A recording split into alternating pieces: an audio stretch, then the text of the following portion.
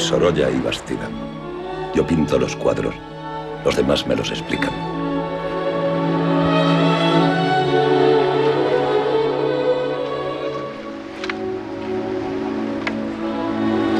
Yo soy pintor. Y pinto porque amo la pintura. Pintar para mí es un placer intenso. A mí, a mí, a mí.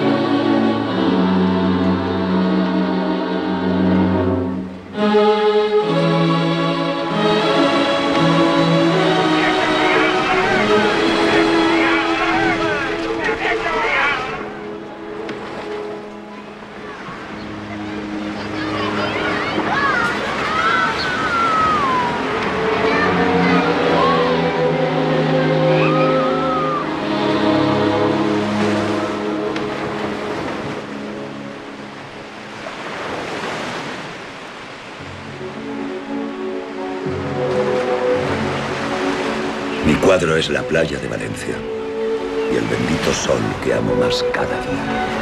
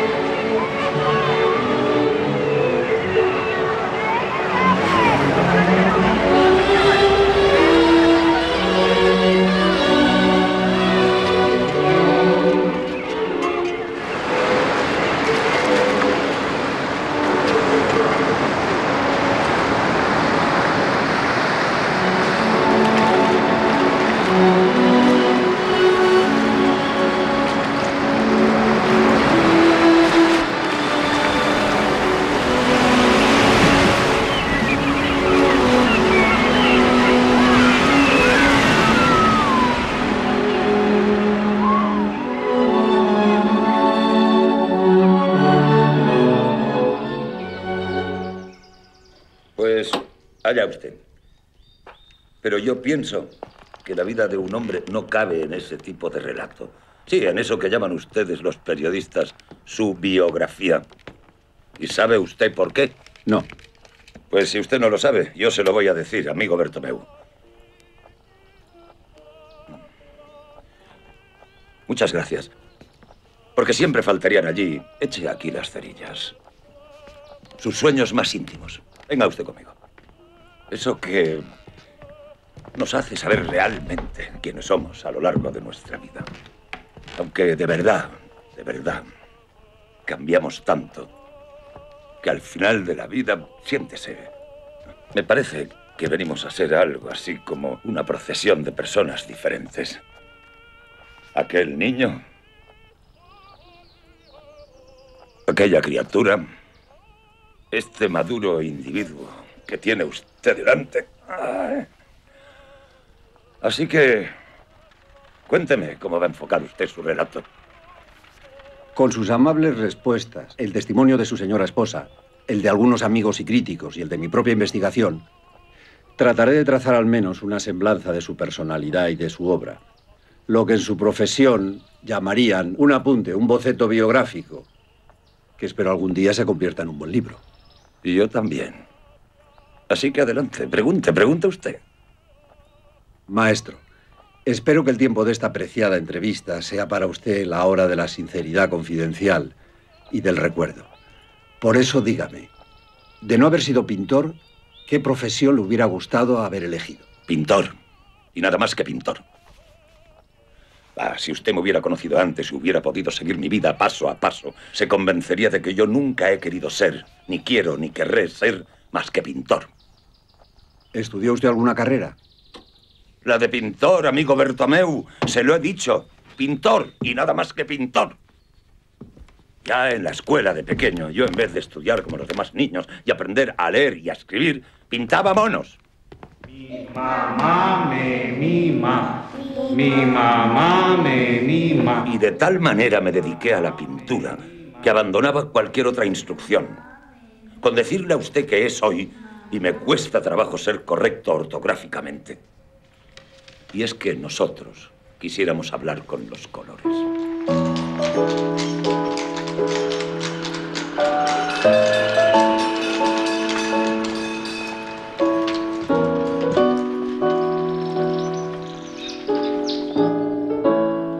En la escuela normal mi marido no demostró grandes aptitudes como alumno de primeras letras. En cambio, se inició su vocación por las artes de modo tan manifiesto que uno de sus maestros, al ver que el niño, en vez de aplicarse al estudio de la gramática, se dedicaba incesantemente a borrajear cuantas hojas de papel le venían a la mano, le regaló lapiceros y colores y aún hizo la vista gorda a la desatención de Joaquín hacia el estudio. Porque nosotros los pintores sentimos también la vida del colorido, de la línea, de la expresión. ¿Cómo empezó usted a pintar? No lo sé. Lo que puedo decirle es que fui pensionado por Valencia, nuestra tierra natal, para ir a Roma. Y allí concluí mis estudios.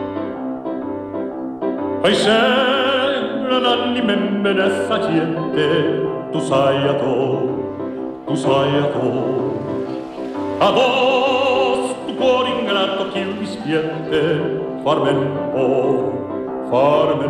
Cuando murieron mis padres, aprendí el oficio de cerrajero.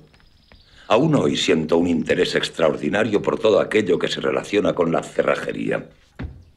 A veces pienso que me gustaría ser pintor y cerrajero, todo al mismo tiempo. Joaquín Sorolla nació el 27 de febrero de 1863 en el corazón de Valencia, en el número 4 del Carrer del Esmante.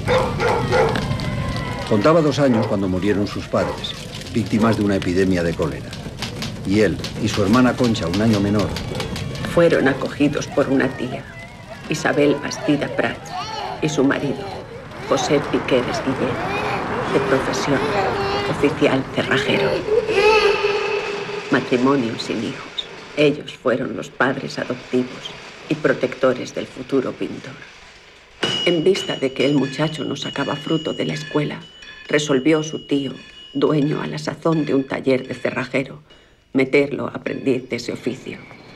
Por las noches, tras el trabajo en el taller de cerrajería, Joaquín, o Chimo, como le llamaban sus amigos, acudía a las clases de dibujo en la Escuela de Artesanos de Valencia. Ante las evidentes dotes artísticas de Joaquín, el director de la escuela, Baltasar Perales, aconseja a sus tíos que le matriculen en la Escuela de Bellas Artes de Valencia. Impresionante, Joaquín. Un trabajo excelente. Y durante el primer año simultanea el estudio en ambas escuelas, la de artesanos y la de bellas artes dedica ya todo su tiempo y esfuerzo a formarse como pintor.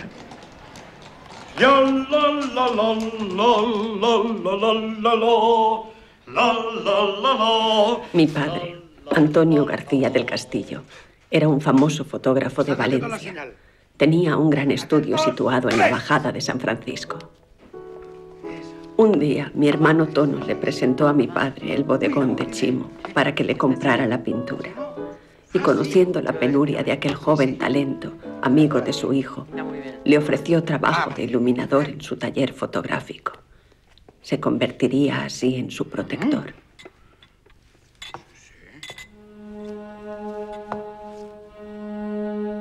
Allí me vio Joaquín por primera vez.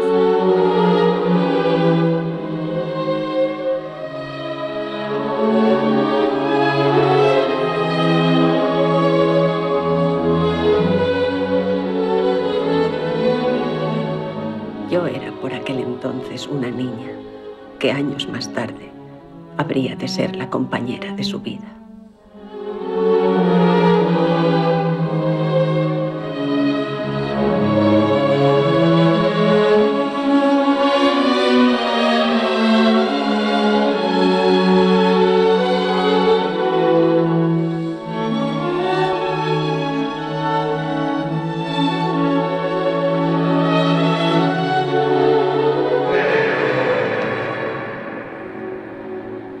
Ven, joven, ven. Tienes razón, mi hijo. Eres un artista con mucho talento. Cosa que para iluminar la fotografía no se precisa tanto como el que demuestras. Pero como estoy buscando un colaborador, como bien te ha dicho mi hijo Tono, si te interesa este trabajo, es tuyo, chaval. ¡Tuyo! Gracias, don Antonio.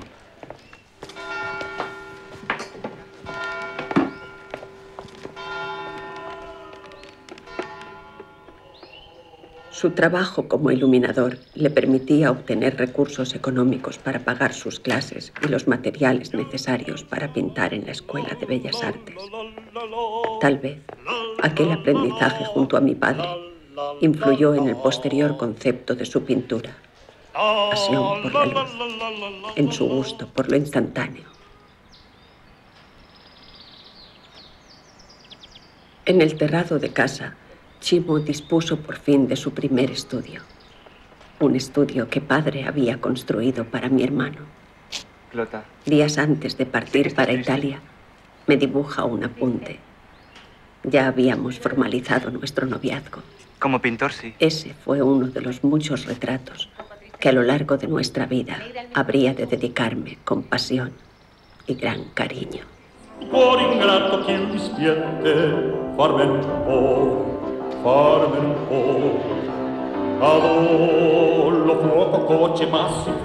Pasé por la ciudad, sus bellos rincones.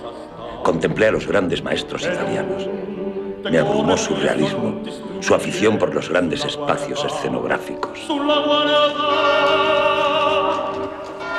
A punto de cumplir los 22 años, llegué a la Academia Española de Bellas Artes en Roma. Desde que empecé a pintar, mi obsesión por destruir todo convencionalismo ha sido permanente. Pero usted no sabe lo difícil que me ha resultado conseguirlo a veces. Mi primera estancia en Roma fue influida por la pintura contemporánea española. Pues realmente fui acogido por el maestro Pradilla. Su amor ciego por la belleza de la línea, que supo inculcarlo en mí, hubo de servirme mucho más adelante.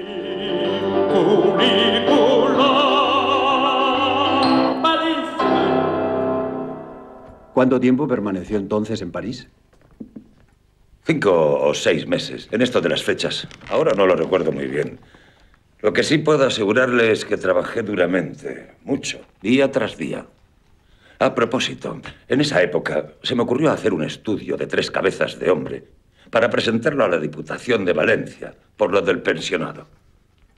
¿Sabe usted qué dijo el jurado de aquellas dichosas cabezas? Muy notables, de color justo y buena casta.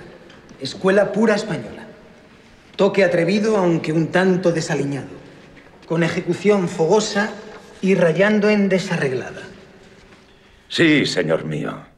¿Y sabe usted lo que dijeron los académicos de mi obra, Desnudo de Mujer? El estudio desnudo de mujer no lo puede aprobar la Academia porque no se revelan en esta obra las dotes que ha tenido la satisfacción de alabar en las demás. Y porque se nota en él bien patente la tendencia a un grosero realismo que aumenta los reparos opuestos por la decencia a la completa desnudez de la figura humana, sobre todo en el sexo, en el que son más imperiosos el recato y el pudor. ¿Y qué hizo cuando volvió a Roma? Pues de nuevo en Roma se me ocurrió en mala hora comenzar una obra de gran formato. Claro, otra vez bajo influjos académicos para complacer los gustos del jurado. La verdad es que yo quería presentarla a la Exposición Nacional de Madrid. Necesitaba algún éxito, algo que refrendara. Bueno, el caso es que me puse a trabajar en la dichosa favorita. ¿Se refiere usted al entierro de Cristo? Siéntese, siéntese. Sí. El entierro de Cristo. Que estuvo a punto de llamarse el entierro de Sorolla. Porque empleé en esa obra muchas horas de estudio, de meditación, de trabajo. En su día, Joaquín fue pintando este gran lienzo de un modo premioso. Primero, la composición se hizo complicada. Gran número de figuras llenaba el cuadro. Luego, por un proceso de sintetización en el ideal, fue borrando personajes, hasta conseguir una marcada simplificación en el conjunto. Con ello, ganó en intensidad expresiva y se hizo más grandioso. Tal como me lo había propuesto, El cuadro fue presentado en el año 1887 para la Exposición Nacional de la Academia de Bellas Artes de Madrid. Y dada mi manera de entender el arte, ocurrió lo que era normal que ocurriese. El maldito entierro de Cristo a nadie del jurado gustó. Fue un auténtico fracaso. A nadie. Pues decía que, que la pintura de este señor no transmite ninguna emoción. El señor Sorolla, pues, a mi juicio, ha hecho lo que otros muchos autores de esta exposición. Creyendo hacer un cuadro, ha hecho un país. Cosa más fácil, aunque sea difícil siempre. Y nos ha pintado no el entierro de Cristo, sino la hora a la que le enterraron. Siete metros de cuadro son muchos metros. Y yo pienso que, aunque solo fuera por eso, al señor Sorolla deberíamos darle algo. Extenderle cuando menos un certificado honorífico. Porque si en la pintura no ha puesto calidad, al menos hay cantidad. No. El cuadro El entierro de Cristo hoy no existe. Solo se conservan bocetos, algunos apuntes que Joaquín realizó para su preparación en una nave enorme.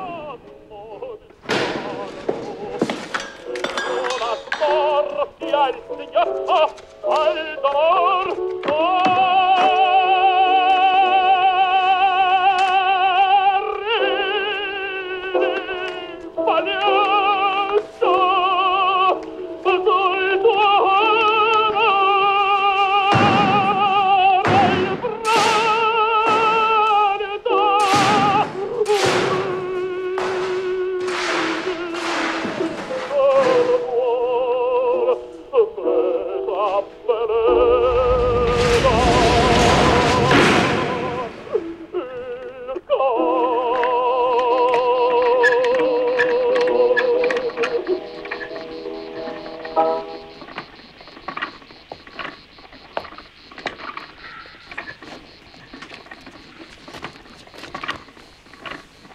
Entonces, señor Blasco Ibáñez, ¿cómo conoce usted a Sorolla?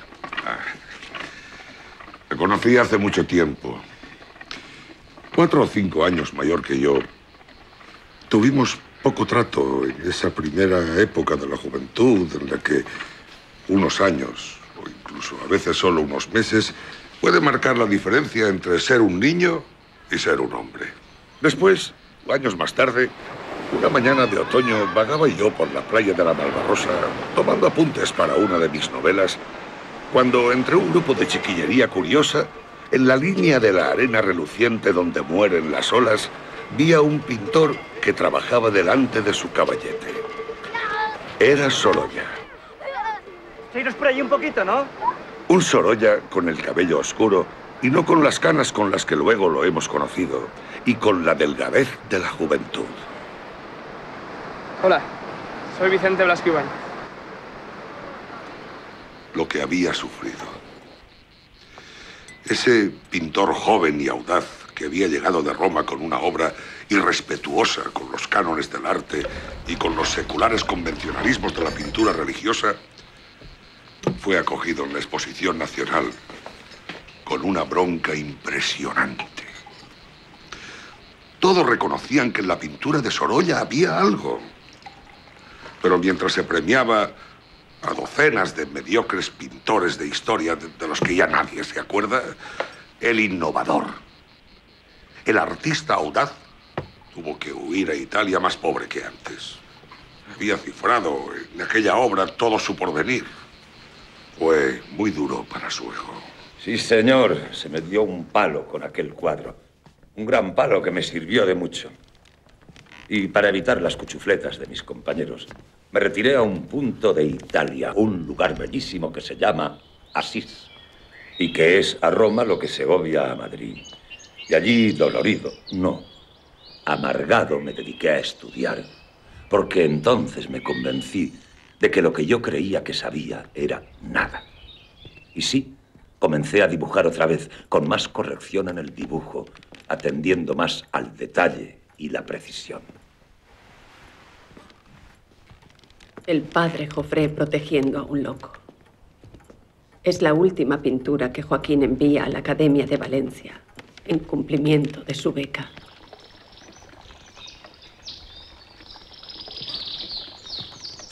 representa a Fray Juan Gilabert Joffre, fundador del Hospital del Sport, el primer manicomio que hubo en Europa.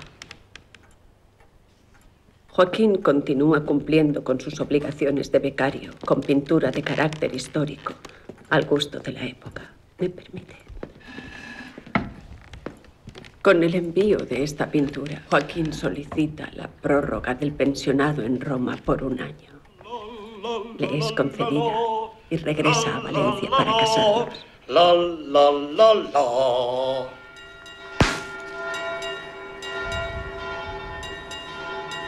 En la parroquia de San Martín, el 8 de septiembre de 1888, contrajimos matrimonio Joaquín y yo.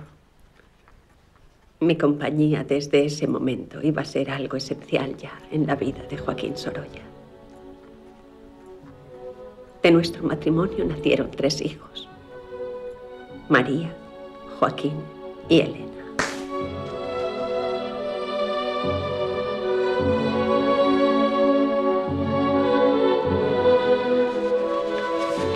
Loti, cariño.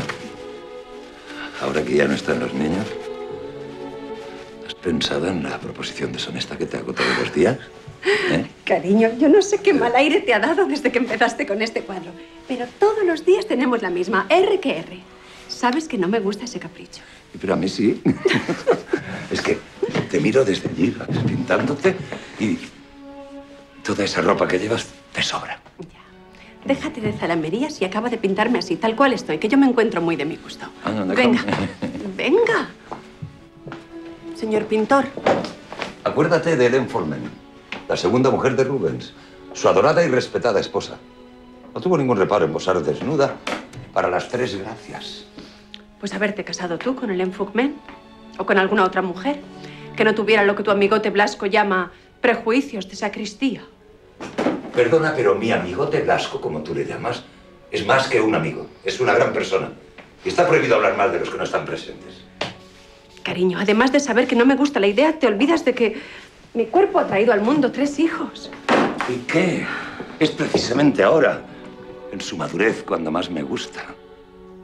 Querida, si hermosa es la flor, no menos bella es la manzana. ¿Me entiendes? Te entiendo. Pasión y pudor no casan. Para el pintor, un desnudo contemplado con amor, con admiración, es, es un paisaje, proporciones, luces, colores. Es pura belleza. No. No y no. Mi decisión es no. Y no hablemos más de este asunto, que está ya más que hablado. No sé, cariño, podemos hablar de otras cosas, de, de la economía doméstica. Porque ¿tú cuánto crees que nos darán por el retrato ese de la marquesa de Miraflores? No me cambies de tema, Clota. Te he pintado cientos de veces, siempre hermosa e interesante, pero encorsetada y envuelta en telas. Y pintarte una sola vez, sin nada que te cubra, limpia de trapos y limpia de adornos y fruncidos, se está convirtiendo en una obsesión. Que desnudas he visto las rocas de Javea siempre, y desnudos he visto a los niños que correcean por la Malvarrosa. Mira que eres terco.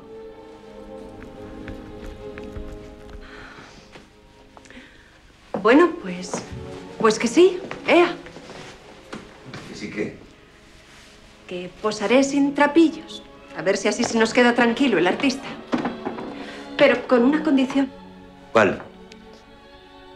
que si tanto le gusta recordar a su señor don Diego de Velázquez, hará que lo nuestro sea como la Venus del espejo.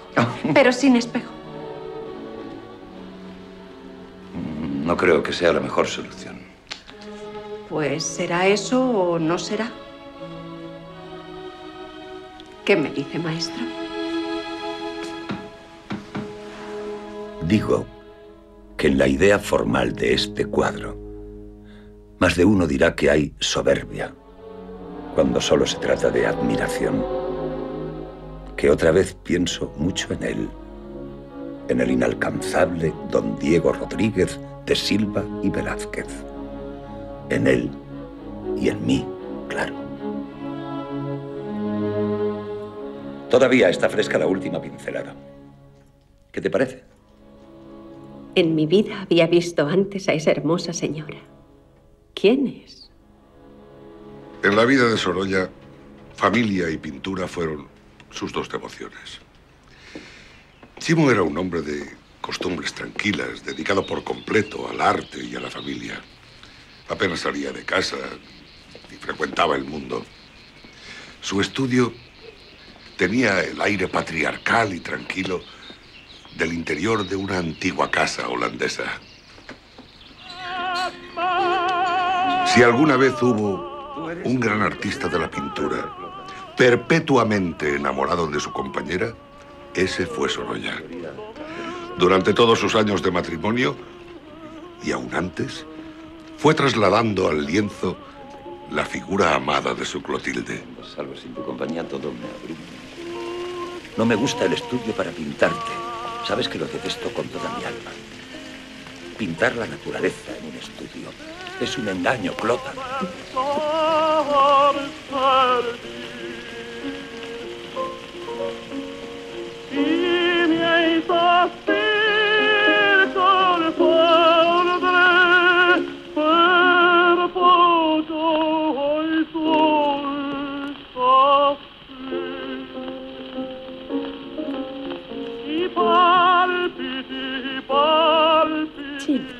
Demasiado, ¿no? Sí, sí, sí, sí. ¿Dónde vas?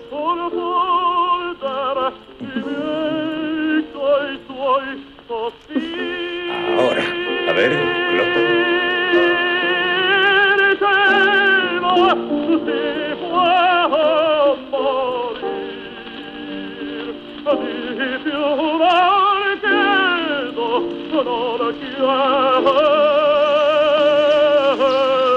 Maestro, según mis notas, 1906 fue para usted un año muy especial.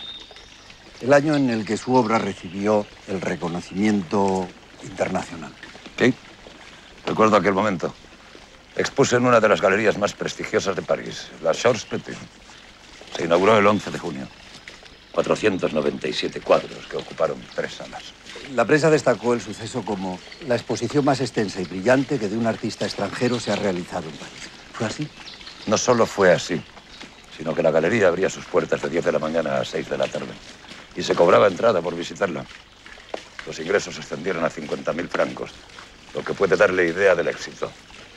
Vendí más de 60 cuadros y varios de ellos fueron adquiridos por pintores, pero por buenos pintores. Eso fue realmente lo que más me halagó. El público parisino enloqueció ante la impresión que les producía aquellos cuadros con ese aire de luz. ¿Me sigue? Sí, sí. Desde entonces, todo París quería ser retratado por mí. Varios pintores solicitaron hallarse presentes durante aquella sesión. Todo cambia en cada momento de nuestras vidas. Todo pasa con excesiva rapidez. Como antes le dije, duele sentir que todo se pierde y no vuelve a encontrarse. Y a mí el éxito me llegó de pronto, amoroso, con los brazos abiertos. Una ascensión rápida, un éxito ruidoso en cada exposición, comenzando por la de París. Mi querida Clota, ya estoy, como habrás visto, en París. Y ayer por la tarde me di un buen atracón de pintura. Vi mis cuadros y después de vistos una porción no hacen mal. Espero que al final de mi examen de todo lo que hay de pintura, algo útil saldrá. Todo esto me aburre, Clota. Yo solo quiero marchar pronto de aquí y darte un fuerte abrazo. Y luego saldremos para Valencia.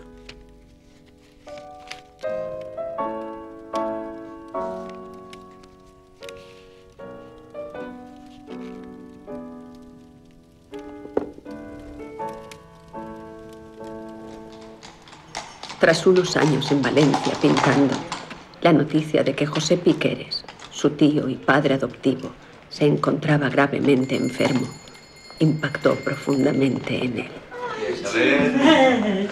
¡Ay, qué alegría! ¡Ay, Clotilde! ¡Ay! ¿Cómo se alegrará al veros? ¡Ay, seréis como una medicina para él! Siempre está preguntando por su chimet desde que supo que ibais a venir. Ay, pero pasad, pasad. Pues no despierte. No, no. José, José, no te duermas. Mira quién ha venido. Bien. ¿Será posible? Don José. Ay, Levántese, tío, que usted no es hombre de estar sentado. A ver cuándo se nos pone bueno y fuerte. Pronto, verás. Me alegró mucho la noticia que me leyó tu tía. Mira, todavía tenemos por ahí el periódico donde se dice que los franceses se dieron un premio muy grande en París porque gustaron mucho tus pinturas. Sí. Mira, mira, está aquí. Y en letras grandes que está la noticia. Este, este papel hay que guardarlo, ¿eh? Qué alegría más grande, coñones. Y dime, ¿cómo, cómo es París? Muy grande. Tiene cosas muy elegantes, pero para pintar, tío, no me gusta. Es una ciudad muy bonita, pero tiene un río muy pequeño. Y le falta eso que aquí nos sobra. La luz. Se lo digo yo, tío. ¿Y la gente qué tal es? Hay de todo. Gente buena, gente ruin. Póngase bueno y viene conmigo para comprobarlo. ¿No nos haríamos usted y yo mano a mano un viajecito a París? Pues claro, que ya tengo hecho el petate, por si acaso. ¿Verdad que sí, Isabel? Mare meva, quin home. Ya ves, Chimet, se me ha vuelto tonto.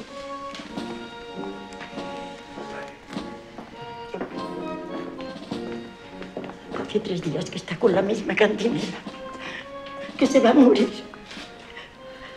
Que se me va a morir.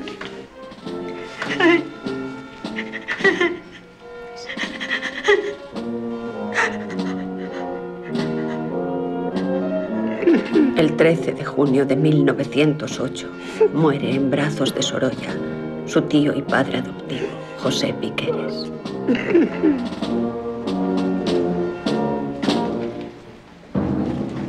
Tras la muerte de Piqueres, Sorolla se traslada con su familia a Javea. De su visita a la Exposición Universal de París, Joaquín sacó conclusiones que en adelante aplicaría a su obra. Así surgen cuadros como Encajonando pasas o Transportando la uva. Javea, sublime, inmensa. Lo mejor que conozco para pintar.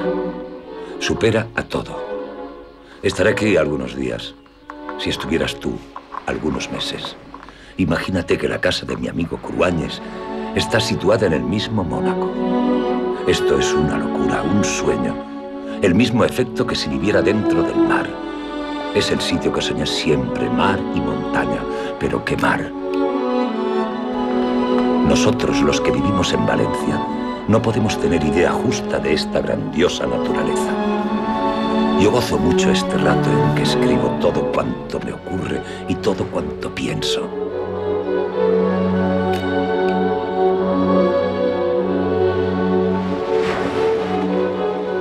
El Cabo de San Antonio es otra maravilla. Un monumento de color rojizo enorme, inmenso, y un color en las aguas de una limpieza y un verde brillante, puro, una esmeralda colosal.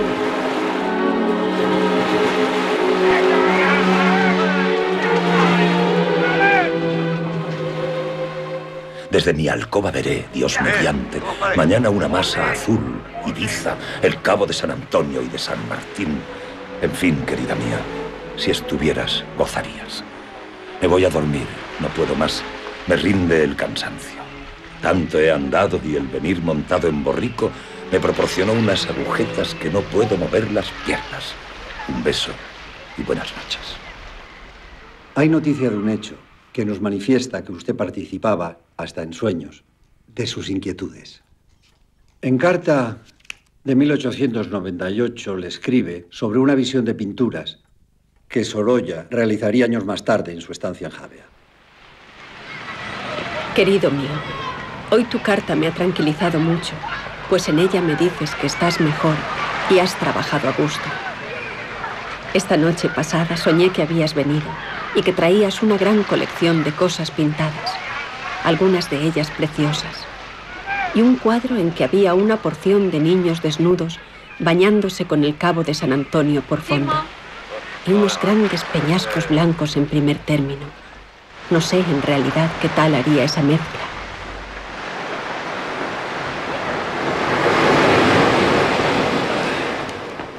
Ahora es cuando mi mano obedece a mi retina y a mis sentimientos. Después de 40 años pintando Bertomeu, a la edad que a uno deben llamarlo pintor y nada más que pintor. No se le olvide. Apunte, apunte. Y esta ha sido mi labor de más de un cuarto de siglo. Labor que comienza con el 2 de mayo y termina con el sol de la tarde. Es decir, que no termina, sino que de entonces acá se consolida más. Mi único afán desde que ingresé en la Escuela de Bellas Artes de Valencia fue crear una pintura franca, una pintura que interpretase la naturaleza tal como es, tal como es verdaderamente, como debe verse. Y creo que he conseguido lo que me propuse. Me sería imposible pintar despacio al aire libre, aunque quisiera. No hay nada inmóvil en lo que nos rodea. El mar se riza a cada instante. La nube se deforma al mudar de sitio. La cuerda que pende de esa barca oscila lentamente. Aquellos muchachos saltan. Esos arbolillos doblan sus ramas y tornan a levantarlas. Pero aunque todo estuviera petrificado y fijo, bastaría que se moviera el sol, que lo hace de continuo, para dar diverso aspecto a las cosas. Hay que pintar deprisa, amigo Blasco, porque cuánto se pierde fugaz que no vuelve a encontrarse. Estoy en un momento crítico. Posiblemente me haya salvado mi energía meridional. El recuerdo de nuestra tierra. Hoy comienza mi nueva vida de artista. Eh, voy a cambiar mi propio estilo. No sé si me aguardan el éxito o seguirán acompañando los ladridos como en el entierro de Cristo. Bueno. Sin embargo, pienso en el sol de nuestra patria, en el azul mediterráneo. Y me quedo en Valencia, Blasco. Chimo reanudaría así el combate más audaz e irrespetuoso que mantuvo nunca con el pasado. Y ya sería él, nada más que él, bueno o malo, pero en adelante, cuantos viesen un lienzo suyo, amigos o enemigos, exclamarían. Esto es un Sorolla. Cosiendo la vela. Gran medalla en la Exposición Internacional de Viena, 1898. Y esto. Triste herencia. Gran Prix en el Certamen Internacional de París, 1900.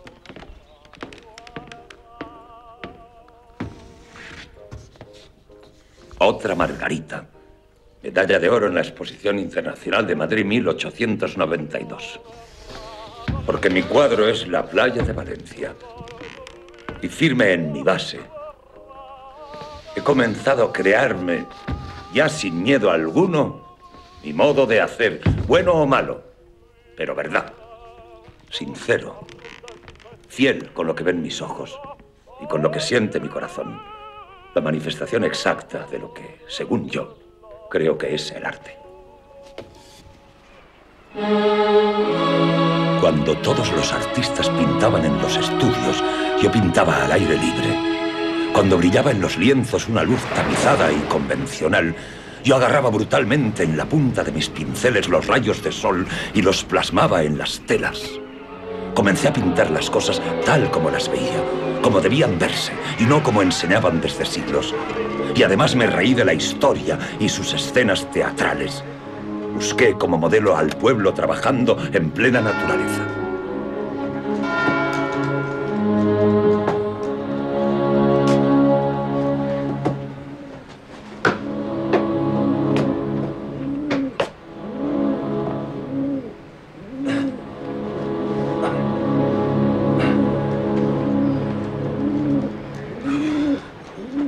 Collons en la escaleta.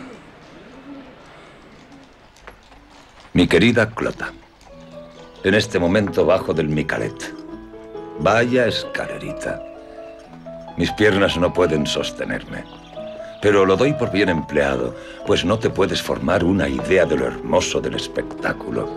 A mi edad, ser valenciano y no conocer el Micalet era una picardía imperdonable. Antes fui a dar mi paseo por el mercado, calle de las Mantas, entré en San Juan, Plaza Redonda, etc. Y ahora, una vez saciado, esta impresión es mayor aún, aunque por fortuna lo ilumina un sol espléndido. Cada vez encuentro más hermosa Valencia.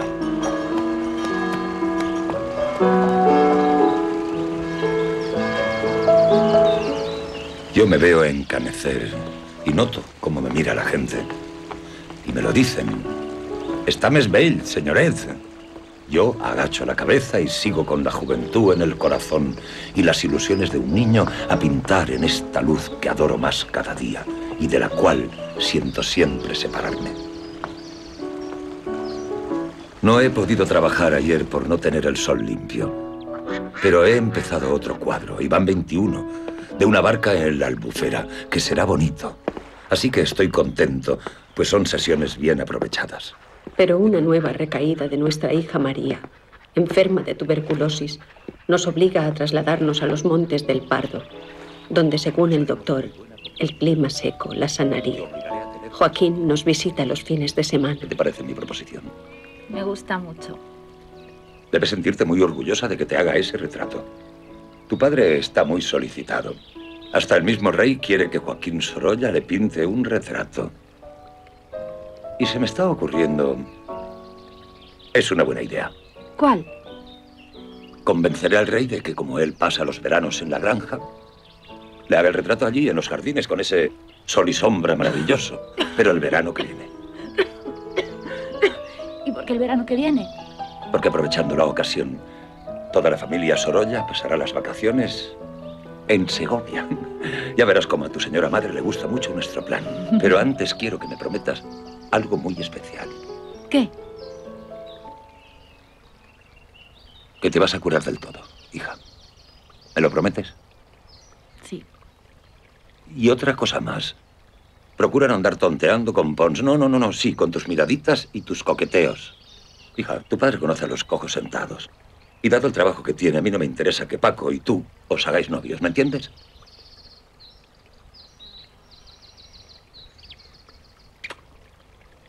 Sí, hija. Te haré un bonito retrato con esa naranja entre las manos. Quedará precioso. Mañana empezamos.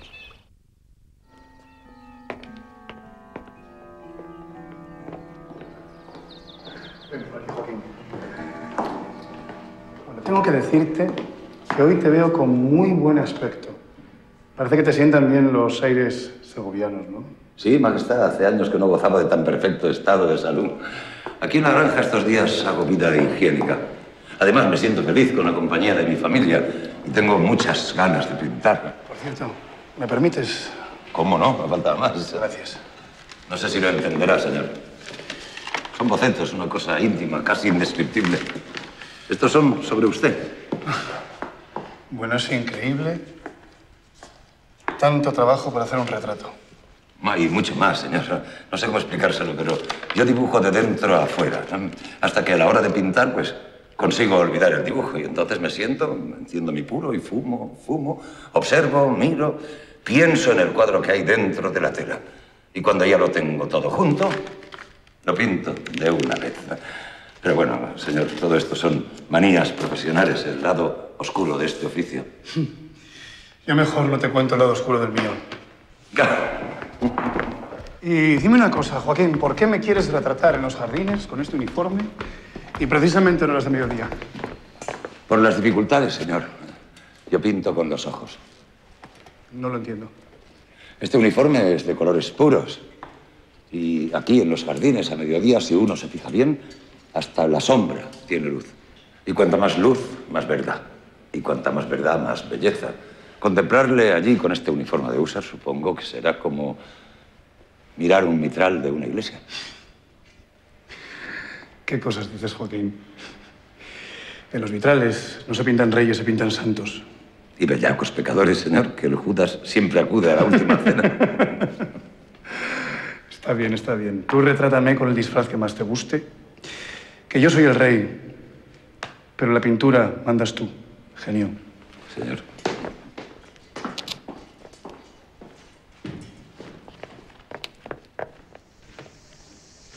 Así es, todo en España pasa por el poder central. Se acude a él aún para la cosa más insignificante. Valiéndose de todos los medios, claro. Incluso aquellos que pueden ponernos colorados. Se lo he oído comentar muchas veces a mi buen amigo Blasco Ibáñez, señor. Si yo te contara. También dice Blasco que esa actitud crea pereza mental en la sociedad. Podríamos decir falta de iniciativa, señor. Buenos días, Adolfo. Buenos días. Oye, ese amigo y paisano tuyo, el novelista Blasco, tiene fama de ser más republicano que Robespierre. Verá usted, majestad.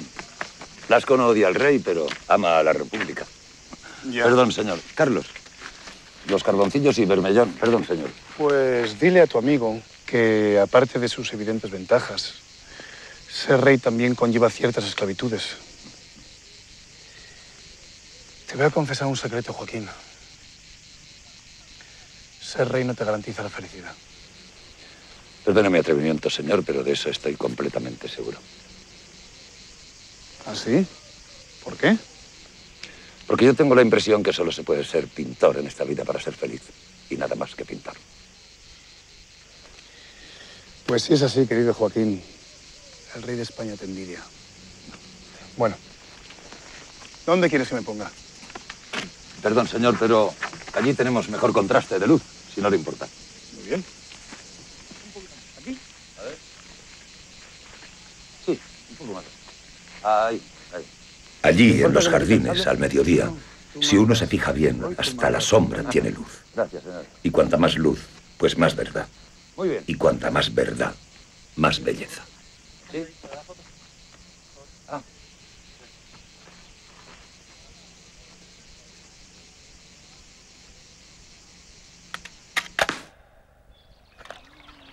En abril de 1908 expone en Londres, en las Grafton Galleries, aproximadamente unas 500 obras, entre pinturas y apuntes. La exposición fue patrocinada por los reyes de España. A Joaquín, que necesita tanto la luz, la ciudad de Londres le parece triste y oscura. Hace frío y nieva. A menudo cae esa espesa capa de niebla. Y está sin mí. Ausencia de la que siempre se queja. Gracias. Pero desde el punto de vista económico, la exposición de Londres fue un fracaso. No se vendió casi obra. ¿Dónde me siento?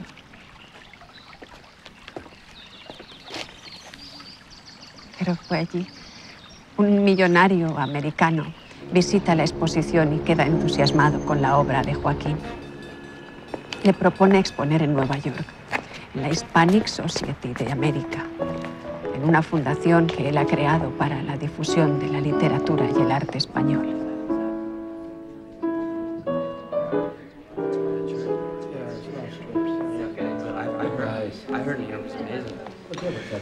Volviendo a nuestro negocio, se lo repetiré. Con esa luz que hay en ella, con esa pincelada espontánea y fuerte, eh, su obra proclama que es usted uno de los grandes artistas de nuestro tiempo. The best. Se lo agradezco mucho, Mr. Huntington. Su obra es excepcional, Mr. Sorolla. Usted es un gran maestro de la pintura. Y créame, quien se lo dice entiende algo de esto. Sí, pero mi experiencia en Londres es muy triste. A la Grafton Gallery he traído más de 300 cuadros. Lo sé, lo sé. Va a decirme que ha vendido muy poco. Exactamente 13 cuadros, 9 apuntes y dos telas que usted tuvo la amabilidad de comprarme, señor Huntington, y que yo le agradezco. Pero no me negará que ha sido un glorioso fracaso. El problema de London es que el anuncio de la exposición no ha estado a la altura de su calidad. Se ha hecho una promoción eh, vulgar. Sí, vulgar. Si usted quiere venderlas todas y ganar dinero, muéstralas en mi país. ¿Quiere usted decir que... Que le propongo exponer su obra en New York, a the Hispanic Society of America. No sé si usted conoce mi fundación. Naturalmente que la conozco. Además, he oído hablar mucho de usted. Me han dicho que es... Un ocioso millonario made in America. No, no, al contrario. Me han dicho que es una persona muy culta y un gran hispanista, conocedor de nuestras costumbres. Me lo ha demostrado arriba cenando. Es más, yo creo que usted conoce mi país bastante mejor que yo. That's right. I am in love with eh, la literatura y el arte de España. Enamorado. Y ese es precisamente el objetivo de nuestra fundación. Difundir en América sus conocimientos. Si usted me permite organizar eh, eh, una exposición de su obra, me dará gran satisfacción. ¿Y usted? Of course. Todos gastos a cuenta de Hispanic Society. ¿Qué me responde, Mr. Sorolla? ¿Pero usted cree realmente? Absolutamente. Jamás se han visto allí una pintura con tanta luz. Joaquín comprende inmediatamente la importancia del ofrecimiento, pues me escribe. Sí, sí, yo, yo tengo... Querida Clota, hoy he decidido algo de gran trascendencia para nuestro porvenir artístico en Nueva York. Creo que he encontrado a Dios hombre. Se llama Archer Milton Huntington. Mrs. Soroya? Mrs. Soroya? Mrs. Soroya? Yo. Ah, Sí, sí, sí. Encantado. Mr. Huntington le ha enviado su Mercedes. Ah, thank you. Thank you very much. Follow me, please. Que vayamos con él. Que es un coche que nos manda Mr. Huntington.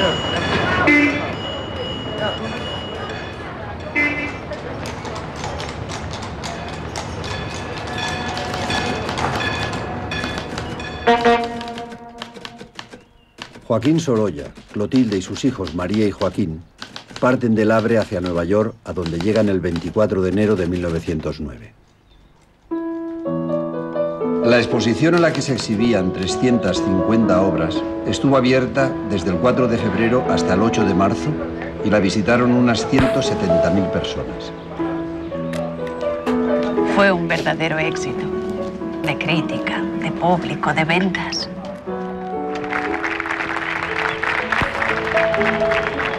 A pesar del tiempo desapacible, porque hacía frío, viento, hielo, Sonoria, señor Sonoria. New York Times. se formaban grandes colas a las puertas de la exposición. Y eso que permanecía abierta de 10 de la mañana a 10 de la noche, todos los días de la semana. Fue un verdadero acontecimiento. Obras de Sorolla se expusieron también en Boston y en Filadelfia, con un éxito similar. Joaquín triunfa en Estados Unidos. Allí cobra fama y fortuna. Las ventas en las tres ciudades alcanzan una cantidad entre 300 y 400 mil dólares.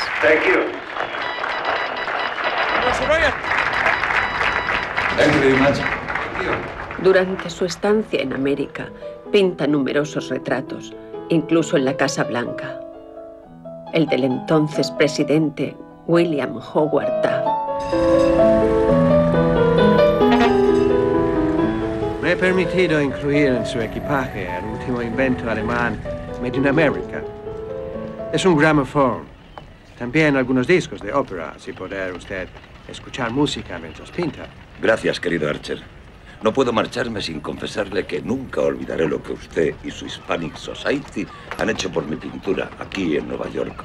Hoy abandono América y quién sabe si volveré alguna vez. No, no diga eso. Claro que volverá. Y si no viene usted, iré yo a visitarlo en la playa de... ¿Cómo dijo que se llama la playa? La Malvarrosa. Eso, la Malvarrosa. A mi familia y a mí nos haría muy felices su visita. Ok. Volveremos a vernos, my dear Joaquín. Porque esto no es un adiós, es... eh, ¿Cómo dicen ustedes? Solo un hasta pronto, mestre. Claro que volveremos a vernos, Archer. Porque usted para mí es mucho más que un hermano y lo sabe. Así que, como dicen ustedes, see you in Valencia.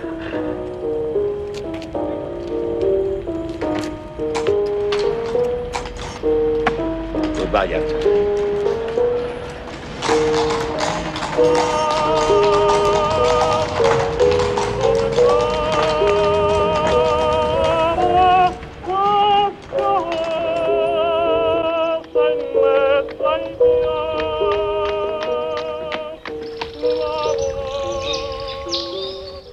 Con el dinero que gané en América he cumplido mi sueño de construirme esta casa con un estudio a mi gusto. La diseñó el arquitecto Enrique María de Repullés y Vargas, bajo mis indicaciones. Terminó de construirse en 1911. Mi intención siempre fue que esta casa pareciera ahora un museo y que en el futuro lo sea sin parecerlo. Maestro, ¿por qué en Madrid? Nosotros los artistas vivimos aquí porque es el centro de todo el movimiento, no porque nos guste. Y eso a fuerza de que Madrid carece de toda personalidad. Yo viviría en Valencia y allí hubiera construido esta casa si Valencia fuese camino a alguna parte. Pero vivo aquí, amando a Valencia y añorándola continuamente. Echa de menos su ciudad. Y tanto, Bertomeu. Pero mientras vivo aquí, como mis naranjos, entre estufas, de placé, que dirían nuestros queridos amigos de Allende los Pirineos. Una vez estuve tres años sin ir a Valencia. Tres largos, interminables, inmortales años. Mi hija María estaba delicada. No soportaba el clima de Valencia. Vamos a seguir con la entrevista. Siéntese. Fue en París, eh, a final de noviembre de 1909, cuando firmé con Mr. Huntington un contrato por 150 mil dólares. Sí, apunte, apunte. 150 mil dólares por realizar unos paneles representativos de las regiones españolas. Se titulan Visión de España. Todavía conservo algunos bocetos. Sígame. Esos paneles debían ocupar un friso de más de 70 metros de longitud por tres y medio de alto. Ayúdeme, por favor. Así no, maestro. Al contrario, al contrario. Fue un encargo para la biblioteca de la Hispanic Society of America en Nueva York. El plazo, perdón, el plazo medio de entrega sería de cinco años para la obra completa. Este, vamos, vamos a cambiarlo de lugar. Al principio acogí el proyecto con gran entusiasmo. Comencé a viajar, dese la vuelta.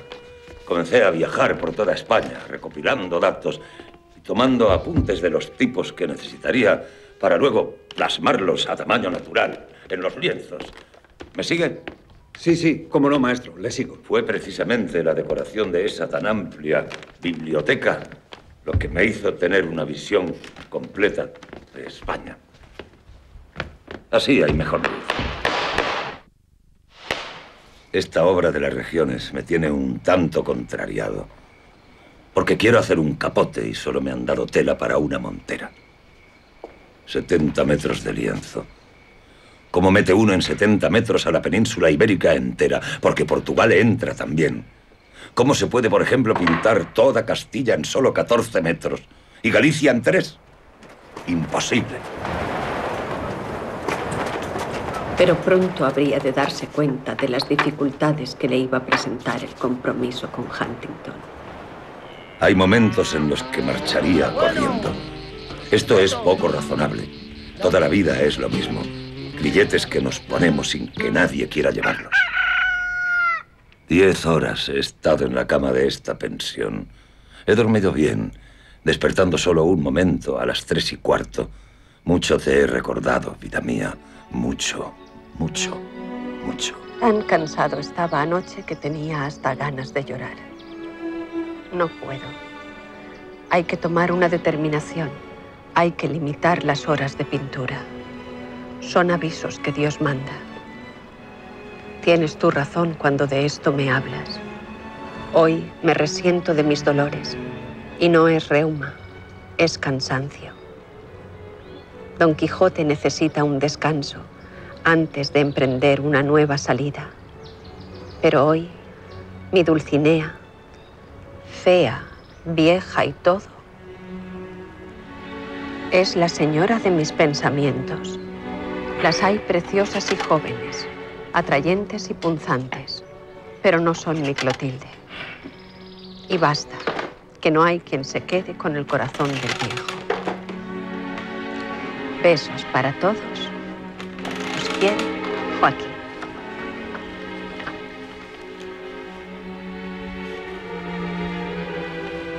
No hagas esa cara. Había algo más. Es de Francisco. Espero que consiga sobrevivir a los envites de tu padre y venga pronto a mimarte. No hace más que trabajar. Y con él, yo.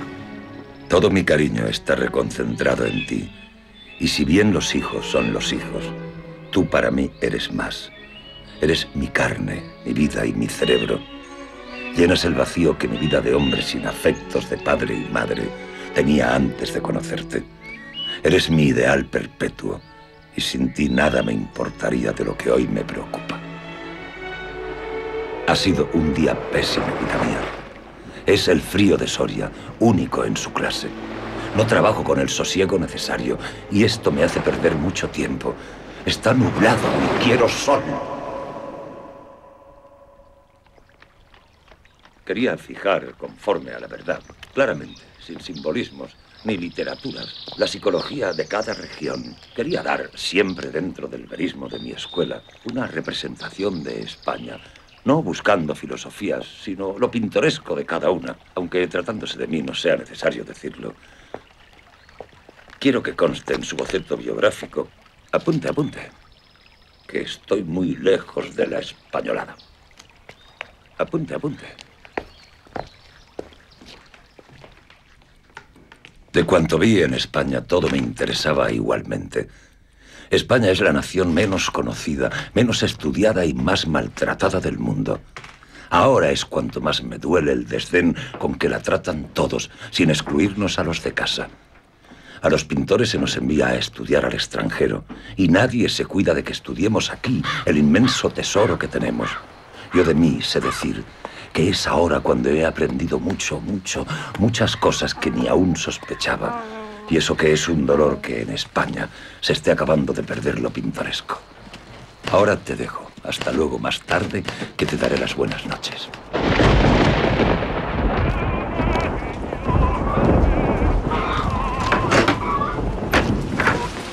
Porque Visión de España acabará siendo una obsesión para el pintor, dado el esfuerzo y cansancio que le procura el encargo.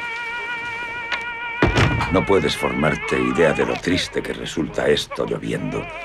Silencioso, sin más ruido que el agua que durante toda la noche y hasta ahora, una de la tarde, no cesa. Recluido en mitad de la nada, con las vistas de una pared a metro y medio de distancia, pues todas las calles son estrechísimas.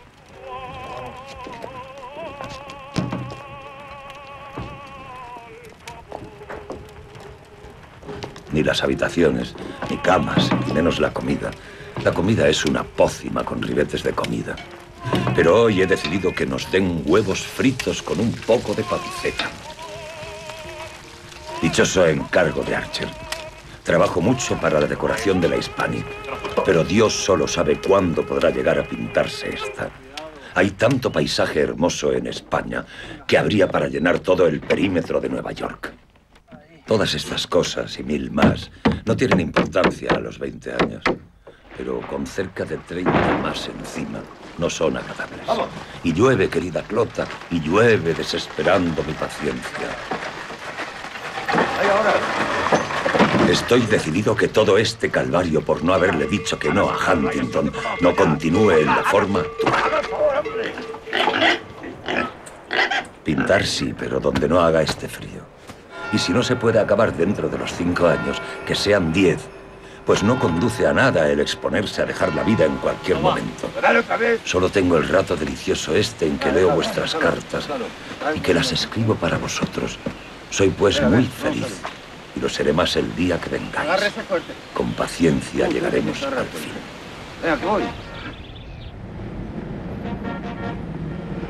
Querido Huntington, esto de querer pintar al sol y al aire libre es el mayor martillo que imaginarse puede.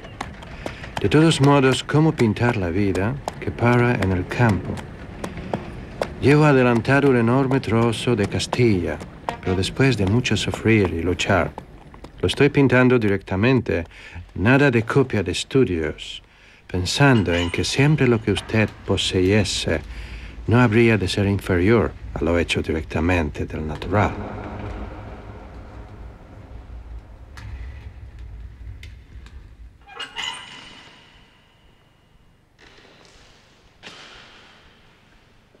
Esta es la región de España que más me ha emocionado, Clotilde.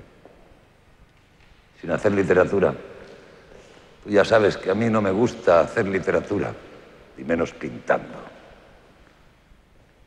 Es Castilla.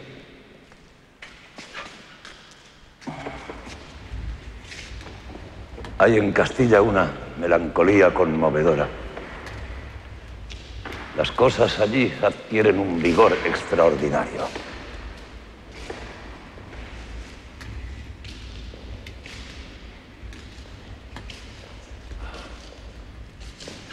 Una figura en pie en el centro de esta planicie toma las proporciones de un coloso.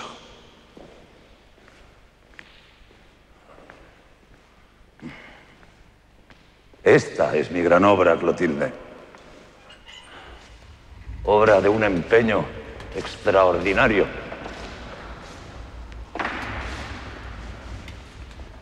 Y hasta que no la he visto terminada,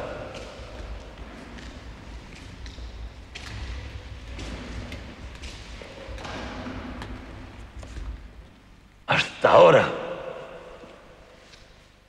que la he visto en su conjunto, Clotilde, hasta que he podido juntar unos lienzos con otros, no me he dado cuenta realmente de qué es lo que estaba haciendo.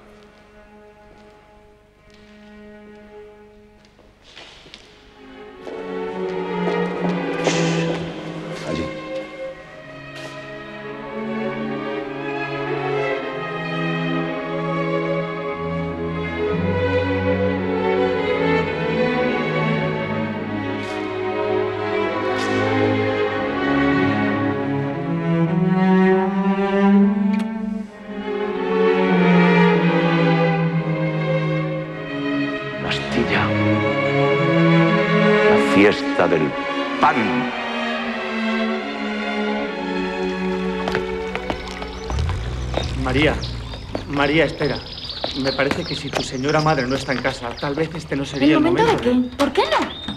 Ven, Porque el maestro está pintando y no me gustaría papá que... siempre está pintando. Una vez nos dijo que pintaba hasta en sueños, de manera que o se lo dices hoy o callas para siempre. Va, venga.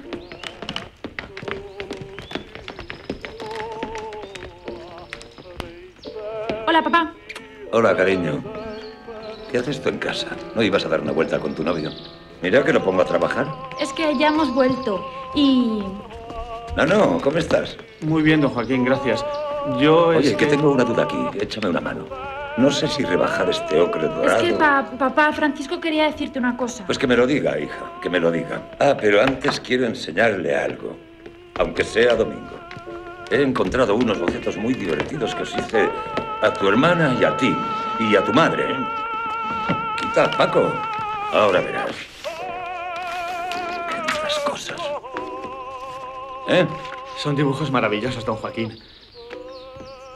Pero lo que pasa es que yo... Nosotros... ¿Qué? Bueno, verá, es que María y yo queremos casarnos. Normal en la vida de las personas. Sois novios, querréis casaros. ¿Te has fijado qué peinados más graciosos les hacía doña Clotilde? Debería conservarlos con mucho cuidado, don Joaquín. Son verdaderas joyas artísticas. Mira, eso voy a hacer ahora mismo. Don Joaquín. Sí. Yo he venido a pedirle la mano de su hija. Ah, no, no, déjate de formalidades. Pero si yo sé que como os queréis, algún día os vais a casar. Algún día no, papá. Queremos casarnos enseguida. ¿Qué? ¿Y tú qué dices? Pues eso, que tengo el honor de pedirle La mano de su hija, eso ya me lo has dicho. No, pero no, no es que diga que no. Lo que pasa es que para esta ceremonia debería estar presente alguien muy importante. Doña Clotilde, ¿no te parece, María? Mamá ya lo sabe y dijo que, que prefería que te lo dijésemos a solas porque a ella le iba a dar la risa de ver la cara que harías. Claro, claro. Oye, ¿y cómo os ha dado ese repente de casaros enseguida? ¿Mm? Enseguida no será mañana. No, tan pronto no, pero sí cuanto antes. Nos gustaría, si a usted y a su esposa les parece bien, celebrar la boda dentro de unos seis meses. ¿Seis meses? ¿Seis meses? No, no, no, no, no. Mejor tres, tres meses. Así os casáis antes, eh, pero en Jaca. ¿En Jaca? Sí, Jaca es una ciudad muy bonita, de las más bonitas del norte. Y en esa época tengo que andar yo pintando por los Pirineos. Pero es que nosotros queríamos proponerle que... Sí, pero el hombre propone y Sorolla dispone. Y así no descuidaré mi trabajo. Y tú tampoco, Nano. Y todos contentos. La madre, los novios y el pintor. Ya verás, ya verás, Paco, qué importante es el trabajo en la vida de un hombre. Ya. ¿Y casarse? También, hija, eso también, pero vosotros no conocéis Jaca. No, papá. Ni ganas. María, Será en Jaca, tranquilo. Cariño, espera. Vámonos.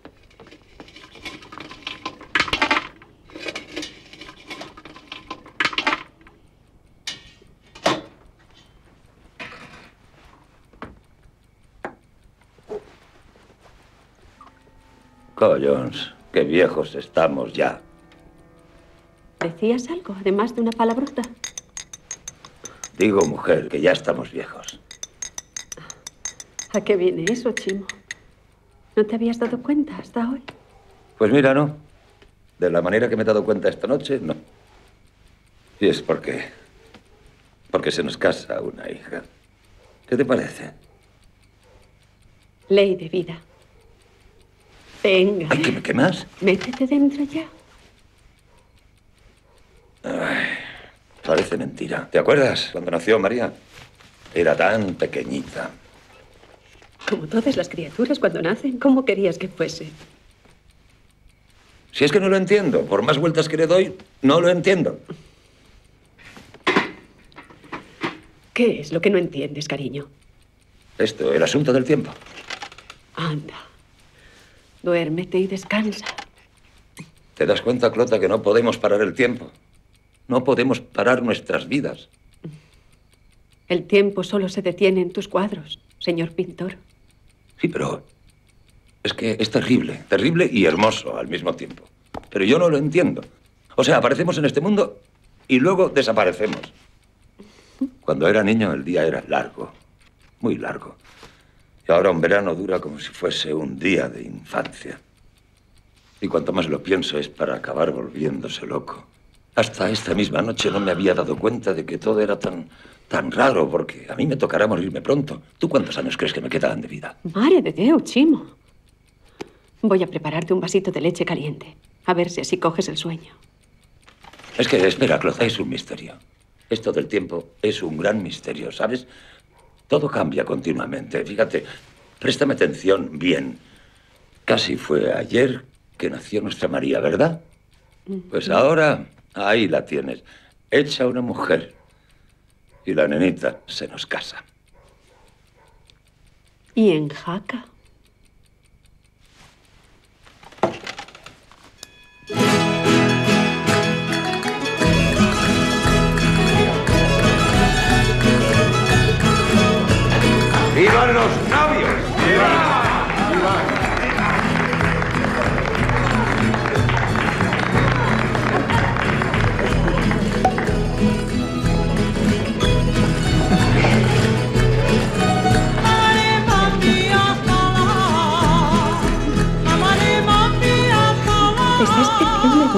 Ah, es un momento muy bonito.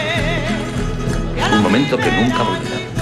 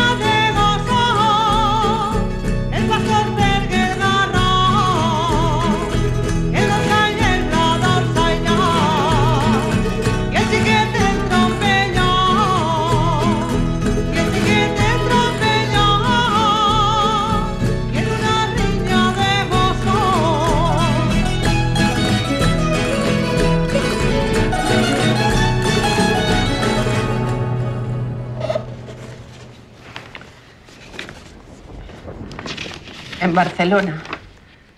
En 1915, Joaquín comienza a quejarse de los temblores que sufre después de trabajar con intensidad.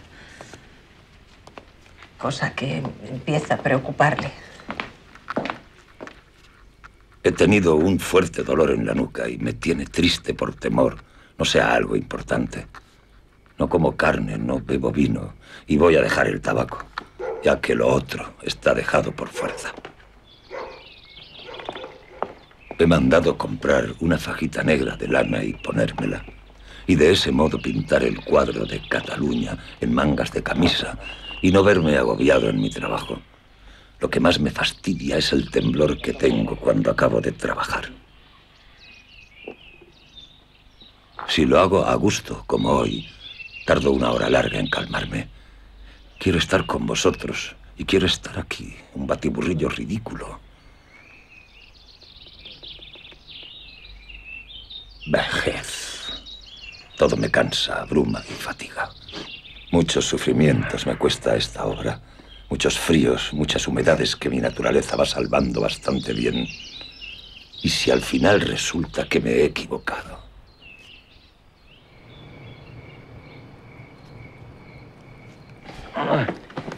Respecto a tu estado de ánimo, te diré que eres un mimoso, malcriado y consentido, que mereces te den como los niños pequeños. Estás en tu casa de Madrid y te aburres de ella y de la familia, porque no me negarás que te aburrimos. Estás fuera y deseas volver. ¿Cómo se remedia eso? ¿Mm? Lo que tienes dentro de ti es un bohemio, en el buen sentido de la palabra. Y como todos los bohemios, nunca os encontráis bien y siempre deseáis algo que vosotros mismos no sabéis lo que es. En fin, como otras muchas veces esto te pasará y volverás a tener ilusiones nuevas, siempre y cuando no sean por chicas jovencitas, ¿eh? Ojo, pues estas no me convendrían a mí. Cuídate ahora tú, y ya lo haré yo cuando vuelvas a casa. Te quiere Clotilde.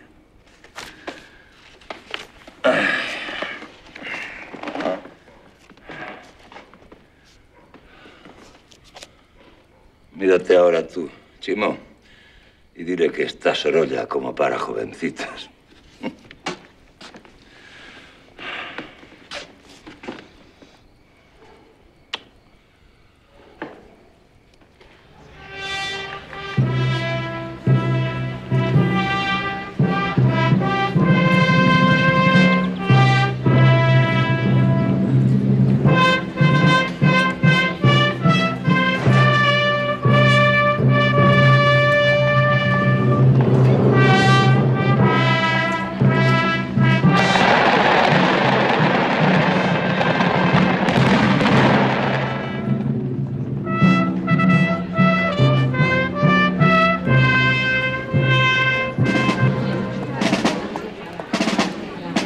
Ayer tarde, al regreso de la huerta, coincidí con los preparativos para una procesión.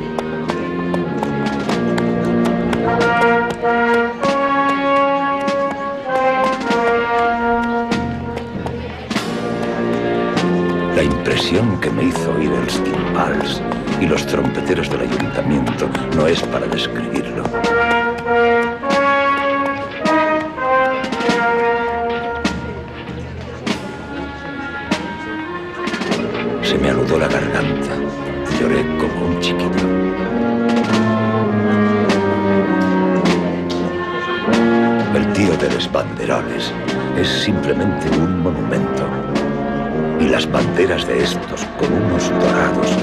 Grupas y los huertanos con los ramos de naranjas, darán un conjunto de gallardía y color.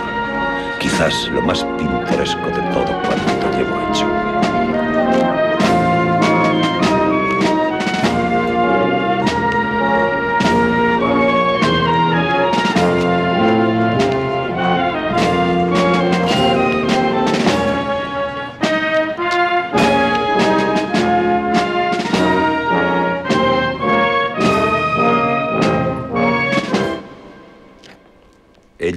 Mucho de alegría. Los colores, la música, el olor, el cielo, todo me conmueve. tanto que temí por mis nervios. Estos se van tranquilizando, pero aún están muy sensibles. Llevaba al venir a Valencia mi plan para la obra. Y todo este estado de sensibilidad ha hecho cambiar mi madurado asunto.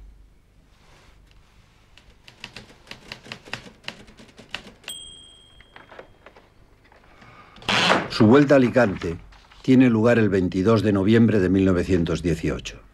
Y ya cuando llega tiene muy claro que su cuadro no lo va a pintar en Elche, sino en Alicante, en el huerto de palmeras que ya conocía.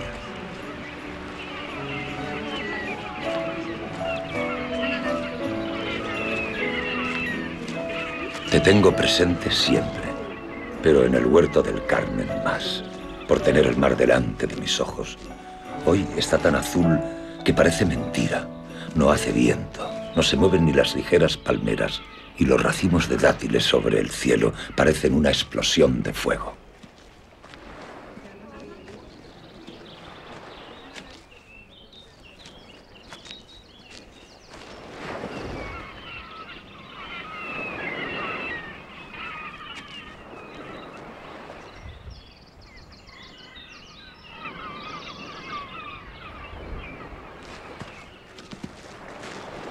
No, no deixes els dàtils. A la dreta, a la dreta. Ahí. Deixe vostè quedes ahí. Y el xiquet més pa allá. Eso es, ahí. No os moga. Bien. Hoy, 25 de diciembre, noté que el cuadro marcha no tan deprisa, pero va bien. Como hacía tanto tiempo que no pintaba nada que se relacionase con el aire libre, estoy encantado de esta contemplación diaria. A ella debo que en estos momentos en que el mundo entero tenga como única idea la guerra, para mí esta pase casi desapercibida. Si bien me conmueve hasta lo más hondo de mi alma. Es que es una maravilla este levante. Fue la primera Navidad que pasamos separados. Puede, señor Sorolla? Adelante. Espera, espera.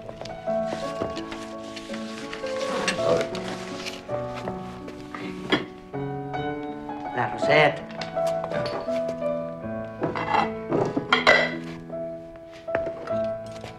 Bon Nadal.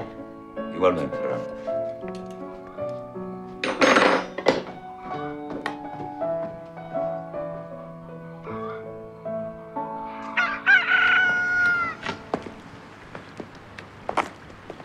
Joaquín no está de muy bien salud. ¿Qué opinan los médicos? La medicina que le recomiendan él no la quiere. Me refiero al descanso. Él insiste en que tiene que terminar el encargo de su amigo americano. Terminar ese trabajo se ha convertido en una obsesión. Pedir Clotilde, nota su preocupación. Y la admiro mucho. Porque vivir con genio como Sorolla tiene que ser muy. muy complicadísimo. Además, usted soporta todo peso de familia. ¿Right? Bueno, digamos que los dos hemos hecho lo que teníamos que hacer. Luchar y sacar adelante una familia, que era importante para ambos. En una ocasión, you know, Joaquín me confesó que sin usted, él no llegaría a donde ha llegado. Ahí está. No te olvides de la caja de colores. Eso es lo más importante. Tienes que poner bronce dorado y tienes que poner ocre amarillento, y sangre. ¿Ultramarino? Sí, ultramarino. Y azul cobalto. Mm, Crema. Ah, mis zapatos viejos, Paco. Sí, no se te olvide. No resisto estar todo el día pintando de pie si no lo hago con zapatos viejos. No, no es una manía de anciano, no, no, no, Pelota, ya lo sabes. Es que los zapatos viejos siempre son los más cómodos. Tenga usted, Huntington, pruebe la paella, cuidado, no se manche. ¿Qué? Ah. Muy buena. Gracias, gracias, gracias. Huntington, my friend. Ay. Me han dicho que son como terneros. Ay. Sorry. ¿Cómo que sorry? ¿No me entiendes mi inglés ahora? Los peces, los atunes de Ayamonte. Son grandes y brillantes, como si estuvieran hechos de plata. Ya verás qué bien quedan en el último cuadro de tu biblioteca. No, no. Por mí, Joaquín, ese último cuadro puede esperar. ¿Por qué no un tiempo de descanso? Me conoces y sabes que mi descanso ahora está en Ayamonte, junto a los atunes. No sé si lo que haré estará bien o mal, porque no tengo un gran entusiasmo por nada. Solo tengo cansancio, vejez y tristeza. Espero que dentro de pocos días tendré el asunto bueno para mi cuadro, porque aquí se pesca el atún en grandes cantidades. Ayer me encontré con 200 atunes tremendos. Esto pudiera, y creo debe ser, el panó que cierre la obra. 40 atunes monstruosos, enormes.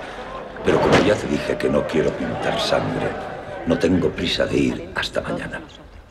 Yo sueño con un cuadro que tenga la belleza del panó de Valencia, dentro de lo típico del lugar, que en trajes nada Que queda. dejaré este Ayamonte cuando termine el cuadro.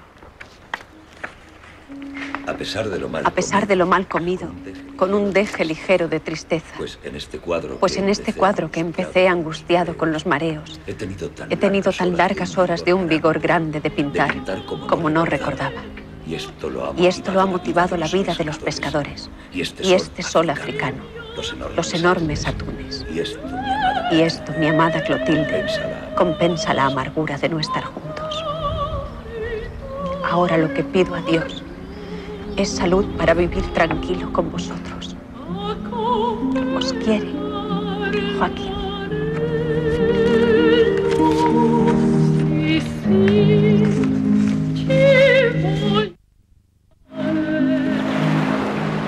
Hoy,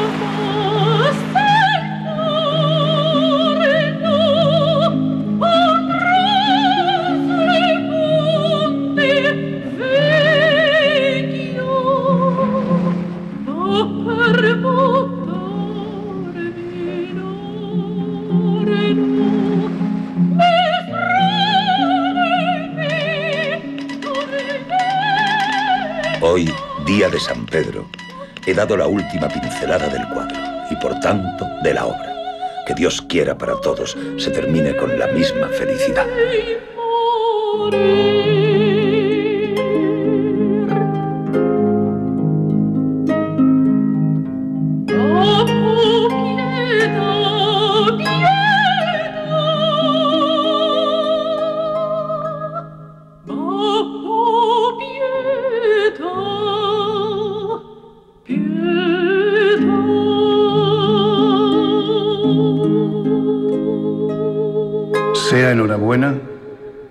Terminado su colosal obra, que será admirada por las generaciones futuras como la fotografía pintada de la España del siglo XX, antes del salto hacia arriba que seguramente daremos. Un abrazo, Alfonso Rey.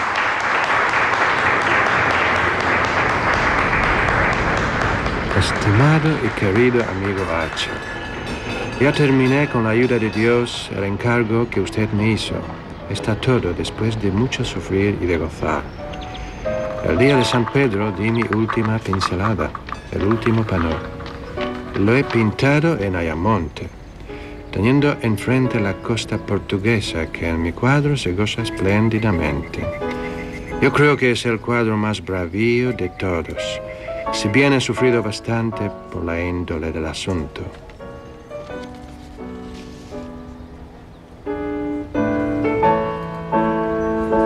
Hispanic Society of America comunica. Sorolla terminó su obra. Es claro su agotamiento y que su estado físico está afectado. Pero la faena, como él dice, está acabada. Sorolla ha llevado su teoría de la pintura hasta el límite. Y solo por eso perdurará. Dios le bendiga a él y a su obra. Media vida artística dejo en América. Y la que me reste la he de dedicar a mi caro y cariñoso amigo Archer, a quien abraza efusivamente como hermano Sorolla. El 8 de junio de 1919, Joaquín Sorolla fue nombrado profesor de colorido y composición en la Escuela de Bellas Artes de San Fernando de Madrid.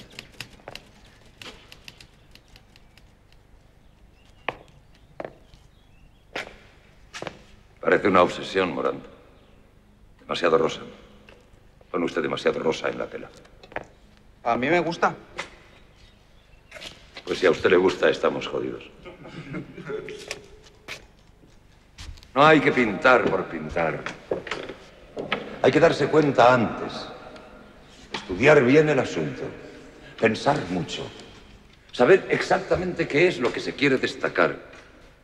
¿Me permite un consejo, amigo mío? El sorollismo es una peste pictórica. Deje que a Sorolla lo imite Sorolla. Mire el mundo con sus propios ojos y no con los de ese tonto pintor valenciano del que todo el mundo habla por ahí últimamente. A usted no puedo decirle nada. Muy bien. ¿Alguno de ustedes ha visto alguna vez, estudiando la naturaleza, el color blanco absoluto? Maestro, perdone la pregunta, pero ¿qué estilo cree que es mejor en la pintura? ¿Estilo? Vale, yo en eso tengo la misma opinión que Baroja. Baroja dice que el estilo, la perfección del estilo, es no decir ni más ni menos que lo que se debe decir. Decirlo con exactitud. Claro que él lo dice de la palabra, pero yo pienso que nosotros, los pintores, también podemos aplicárnoslo. Decir lo justo con exactitud. Que no es copiar, es sintetizar. La poesía es como la pintura. Y la pintura es como la poesía, creación. Al menos esa es mi opinión. Claro que cada cual puede opinar lo que quiera y a su gusto. Porque nosotros juzgamos con el tiempo, pero el tiempo cambia. Verá, nosotros nos referimos al estilo de la pincelada. De si es preferible una corta o una larga No, para ustedes según no me están hablando de estilos, me están hablando de recetas. Yo debo decirles que no tengo receta, porque creo que la pintura es un estado del ánimo. Hago una pincelada, déjame. Corta o amplia. Depende del motivo y depende del momento. La pincelada es la huella del carácter. La pincelada es la huella del pintor, del momento, de la vida del pintor. Aunque yo personalmente prefiero la pincelada corta y rápida, porque barre mejor los matices. Bueno, pero eso ya es como el nadar. Sí, sí, señores, no se sorprendan. El aprendiz se echa al agua y se hunde. Tienen que sacarlo. Sin embargo, el que ya sabe, se echa de cabeza o de espaldas y siempre flota. Hay que luchar. Luchar con fe. Si quieren hacer cosas en el futuro, a trabajar. Joaquín era también un gran pintor de retratos. Prueba de ello es la serie de pinturas de personalidades representativas del momento cultural que se vivía en España. ¿Quién podrá vencernos si es nuestro el Jacinto Benavente, Azorín, Ramón y Cajal, el gran amigo Mariano Benlliure, también nuestro hijo Joaquín Sorolla y María Sorolla, nuestra hija.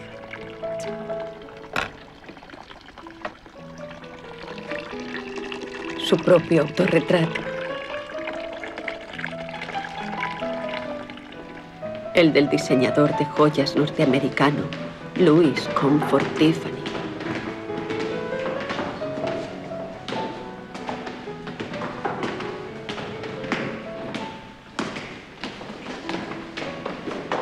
Y cómo no, el escritor y amigo, Vicente Blasco Ibáñez. Sí, señores, es cierto. En España se ha perdido un tiempo precioso. Entre los años 60 y 90 los artistas andaban en busca de la pintura histórica. Y si al menos hubieran contado la historia inspirados en la verdad, Porque díganme ustedes cómo reaccionaría nuestra sensibilidad ante un cuadro donde contemplamos en mitad de una carretera polvorienta a la reina de Castilla con un traje inmaculado y puro, rico de terciopelo negro, con una larga bata. Vamos, doña Juana la loca rodeada por un... Sí, Paco, rodeada por su séquito. En fin, eh, ahora afortunadamente la pintura es mucho más realista. Y digo afortunadamente, doña Piedad, porque realmente a mí todo lo relacionado con el arte me interesa que sea sincero. Paco, ese señor que acaba de entrar con el impermeable y el paraguas, ¿es el escritor Pérez de Ayala? Ahora, muy bien. Ahí estamos.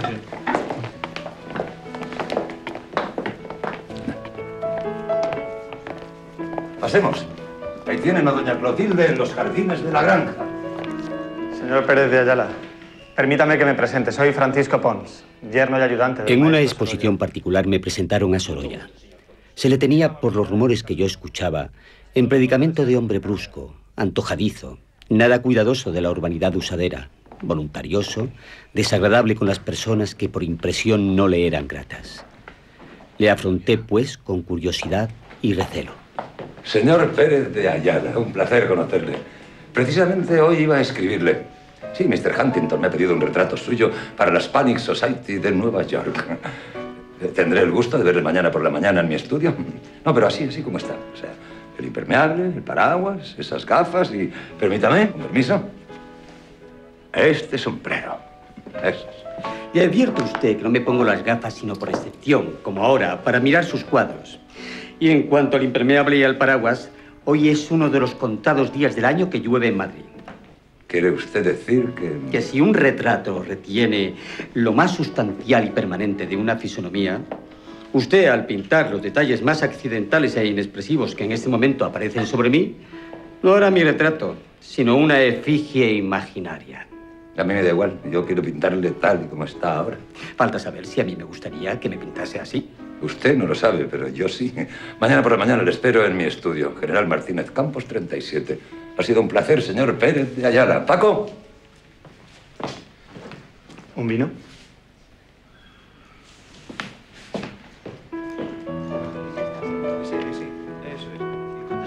Llegó el instante de comenzar mi retrato.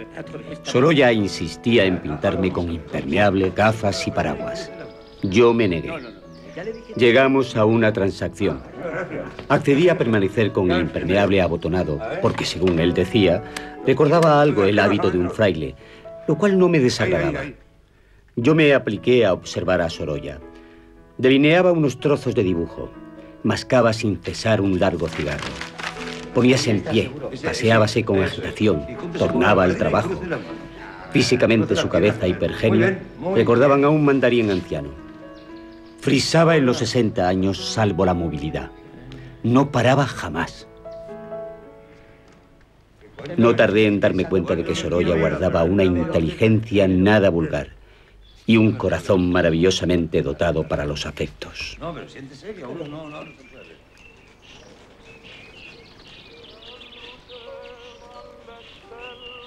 Una fina y templada mañana del mes de junio de 1920, Sorolla pintaba el retrato de mi mujer, observándole yo a su lado. Éramos los tres solos, bajo una pérgola enramada.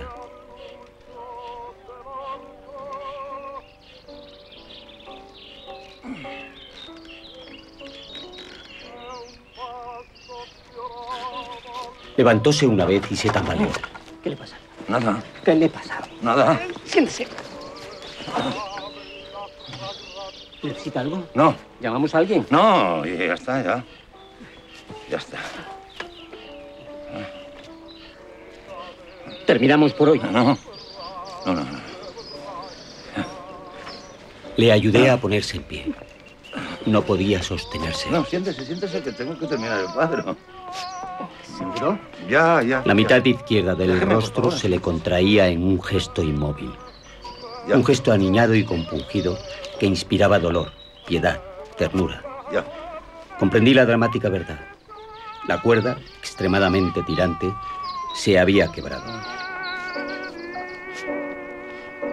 Aún así y todo, rebelde contra la fatalidad que ya le había asido con su inexorable mano de hierro, Sorolla quiso seguir pintando.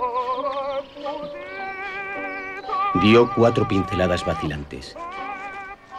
Cuatro alaridos mudos ya desde los umbrales de otra vida.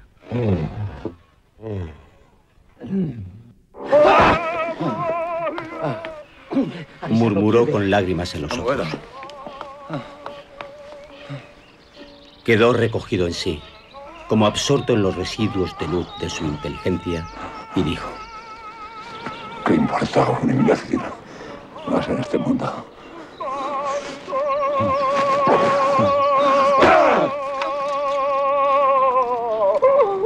La vida.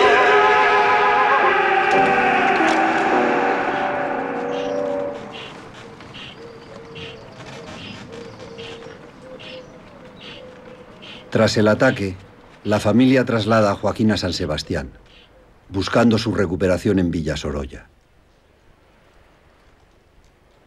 De regreso a Madrid, sus alumnos de la Escuela de Bellas Artes de San Fernando lo visitan en su estudio de Martínez Campos.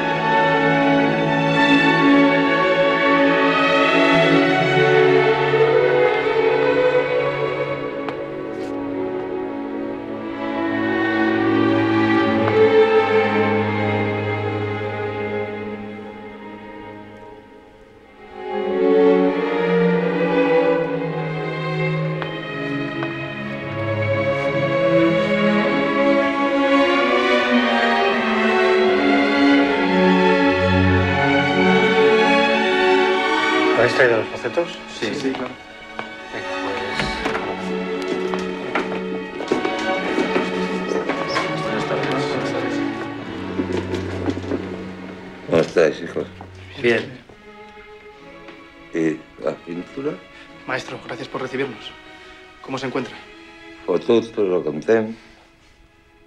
No, no lo entendéis, ¿no? Yo sí. Yo también soy valenciano, don Joaquín. Mira. Estas son las manos que ya no pueden pintar. Las de un inútil.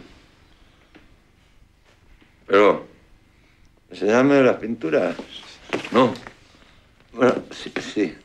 Paco. Sí. Lo que vamos a hacer es que vas a coger el automóvil y vas a llevar a la escuela porque quiero ver qué habéis pintado este verano. Eso es lo que vamos a hacer. Ah, vamos. Pensad y. Como dicen en esta tierra. Ven, ¿cómo te llamas, chaval? Manuel, maestro. Hola, Manuel. Vamos, Paco. Sí, vamos. Joaquín, vamos ven, ya. Sí. ven. Buenas tardes. Buenas tardes. Buenas tardes.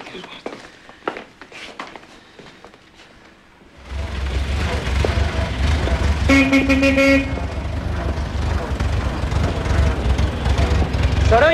Sorolla, que viene Sorolla. Rápido, una silla.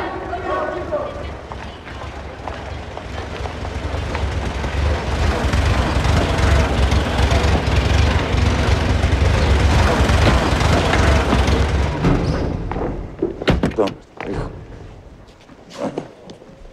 Apóyese. Sí. La silla.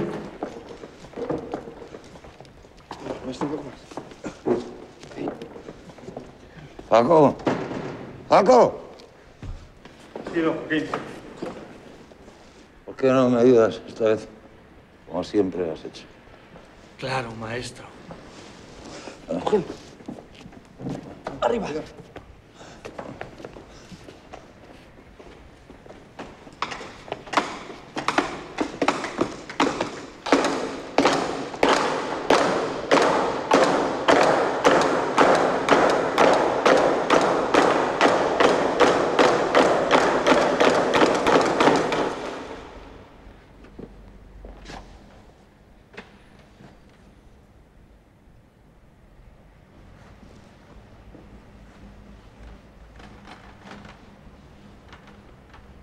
Pinte, pinte.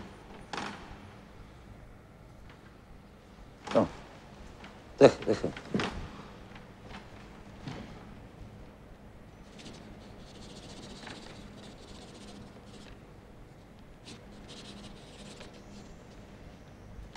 Aparte, aparte.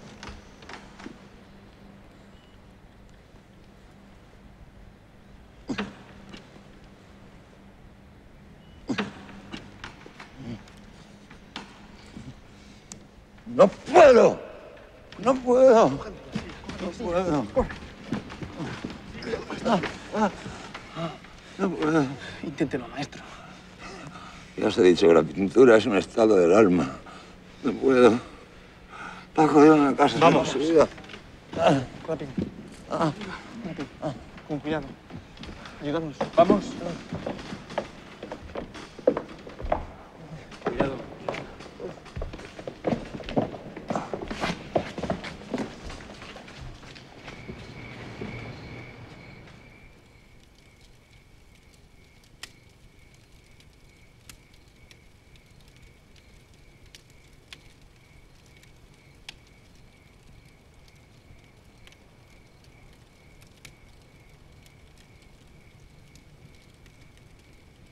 Valencia. De la Valencia.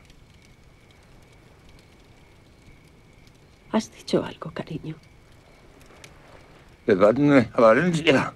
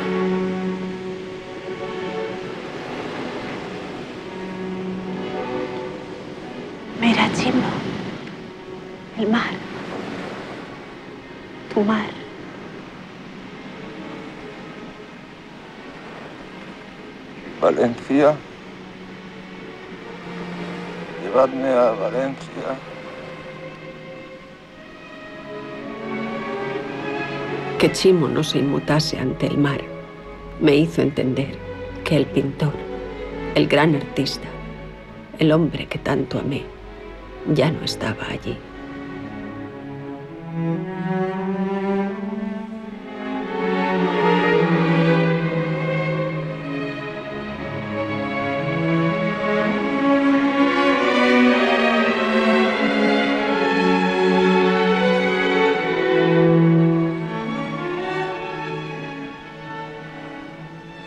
Al verano siguiente, el 10 de agosto de 1923, a las diez y media de la noche, muere Joaquín en Cercedilla, en la casa que el pintor había comprado para que nuestra hija María, siempre delicada de salud, respirase aire puro.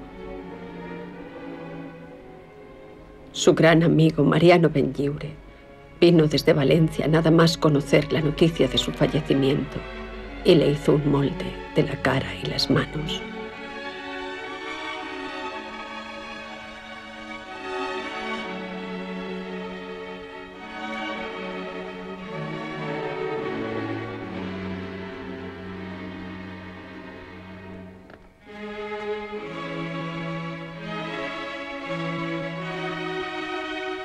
Joaquín no llegó a ver nunca su gran obra expuesta en el corazón de Manhattan. Se inauguró el 25 de enero de 1926, tres años después de su muerte. Para Joaquín, los cuadros eran como hijos, y como hijos a todos quería.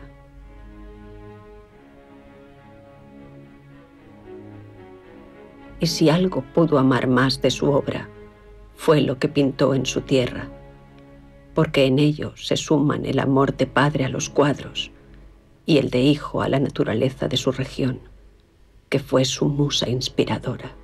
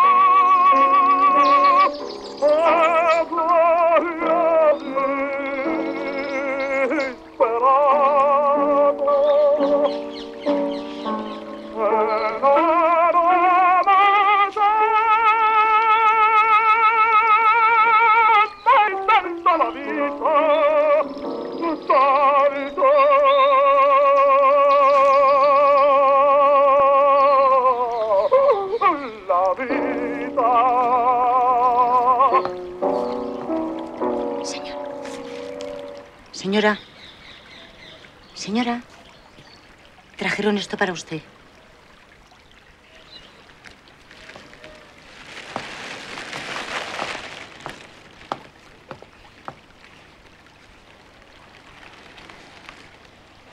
Esta semblanza y crítica de la obra artística de Joaquín Sorolla ha sido meditada a orillas del Mediterráneo, en esa playa valenciana donde nació el pintor.